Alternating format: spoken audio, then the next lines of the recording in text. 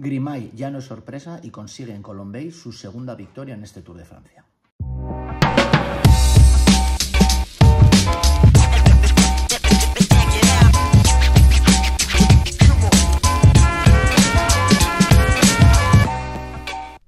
Semur Colombey, 183 kilómetros, bueno, ya lo comentamos en el día de ayer, una etapa complicada, una etapa repechera, una etapa donde se iba a someter a muchísimo desgaste a los hombres eh, rápidos del pelotón, cosa que así ha sido, porque si analizamos lo ocurrido en esa primera parte, eh, sobre todo con esas cotas de tercera y cuarta categoría y con ese añadido de, una lluvia persistente que ha hecho que el pelotón vaya eh, muy, muy, muy rápido, eh, podemos decir que ha sido una carrera de, desgaste. Por, momentos hemos visto a, varios de esos corredores rápidos perder comba con el, con el pelotón y yo creo que la unificación ha llegado con esa tregua que se le ha dado a Abrahamsen, desde aquí quitarnos el sombrero ante el corredor noruego, menudo inicio de Tour de, Francia que, que está haciendo y, bueno, pues que ha rodado muchísimos kilómetros en cabeza lo ha hecho rápido porque por detrás tampoco se ha ido despacio.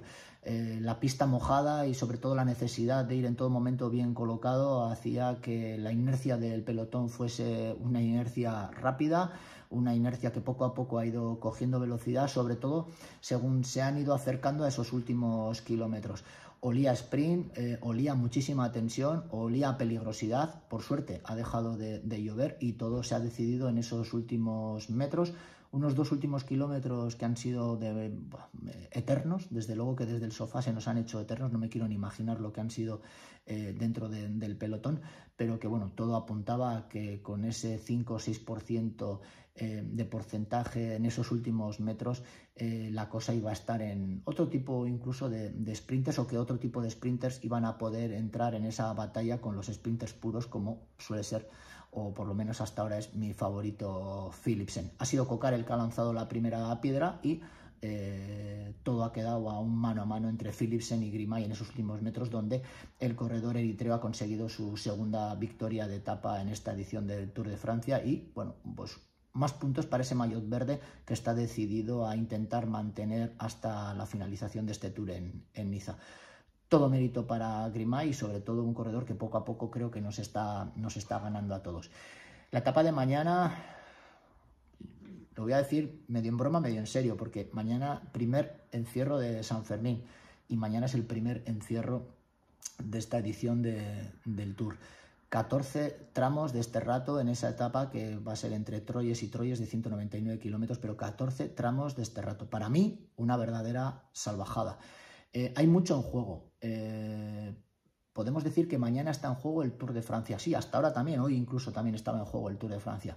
Pero mañana está en juego y hay muchísimo en juego. ¿Por qué? Porque en este tipo de, etapas, lo mismo que con el Esterrato, que ocurre con el, con el pavé, al final, en el momento en el que tú puedas tener un percance o que tengas un percance, puedes perder muchísimo tiempo ya que el coche viene muy lejos, ya que la asistencia viene muy lejos.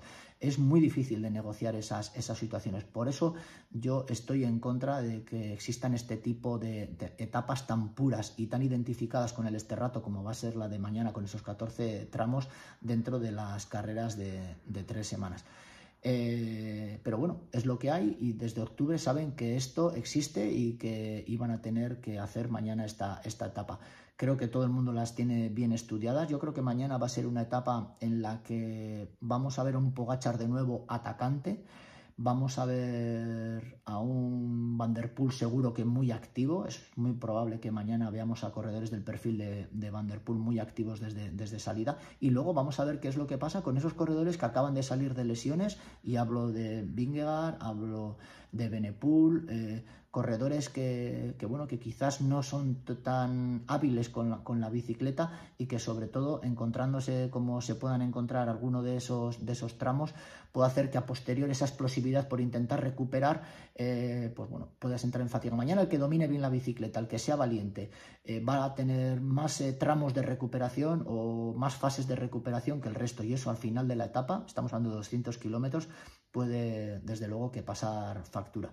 Estamos ante una etapa eh, difícil, una etapa complicada, una etapa que, de la cual se puede sacar muchísimo más partido que de una etapa de alta montaña, bien sea en Pirineos, bien sea en Alpes. Solo pido que mañana no ocurra absolutamente nada. No quiero ni caídas, ni pinchazos, ni cadenas. Que sea la fuerza, que sea la explosividad, que sea la táctica o, que, que sea lo que tenga que ser, pero que no ocurra absolutamente, absolutamente nada.